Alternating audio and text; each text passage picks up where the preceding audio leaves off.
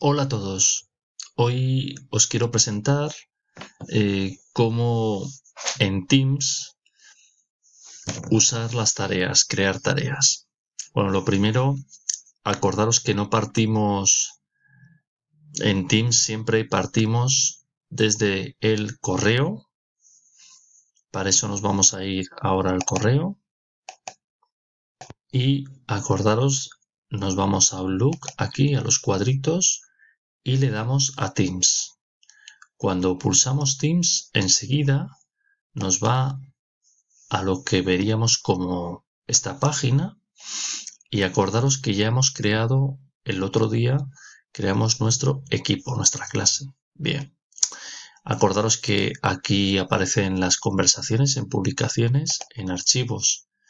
Podemos guardar eh, cualquier fichero que queramos para que vean los alumnos eh, blog de notas es muy interesante porque es una forma también de recoger información y también tenemos tareas. En blog de notas, si queremos configurarlo, por ejemplo, blog de notas en blanco, le damos a siguiente y aquí, por ejemplo, vamos a simplificar, que aquí a lo mejor vienen muchas opciones. Vamos a dejar solo notas de clase y deberes.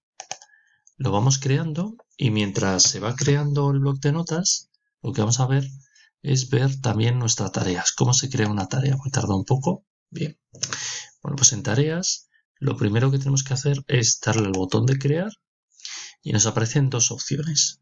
Una, lo que sería una tarea clásica y dos, un cuestionario. El cuestionario es muy interesante porque sería para, si hemos creado un test eh, de examen eh, en Forms lo podríamos incluir aquí, que eso es muy interesante como una tarea.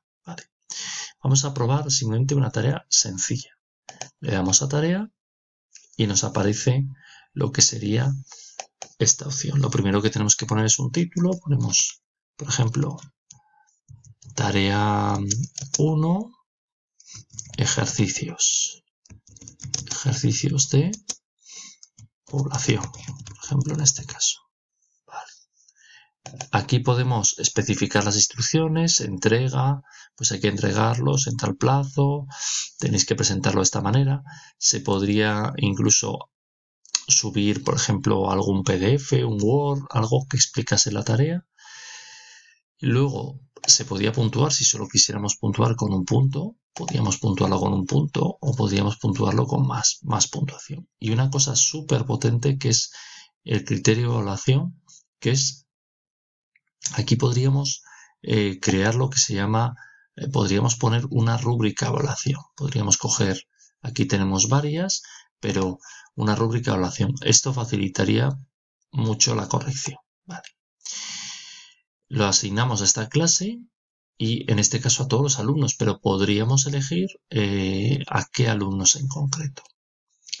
Aquí, por ejemplo, nos pone una fecha estándar y luego una hora de vencimiento.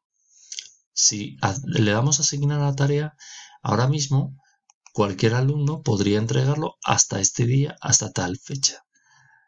Em, la única pega o que bueno, puede dar lugar es si permito entre las entregas atrasadas, nos, nos aparecería que esta entrega atrasada. Si no es así, le daríamos a editar y rápidamente pues marcaríamos una fecha de cierre y una hora de cierre que no permitiría más. Le haríamos aquí y a continuación pues la diríamos asignar. Bien, entonces,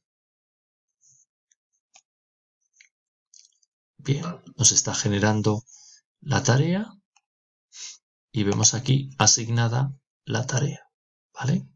Los alumnos entrarían, verían las instrucciones y nosotros lo que veríamos después, por ejemplo, aquí aparecería la lista, la lista de los alumnos, como podéis ver aquí el nombre y sobre todo lo más interesante es que nos diría si se han entregado, no han entregado y podíamos revisar una a una los ejercicios, con lo cual y poner la nota, la nota y los comentarios que los alumnos podían ver y verlo. Esta, como veis, es una forma muy sencilla y muy práctica de crear una tarea. Espero que os haya servido.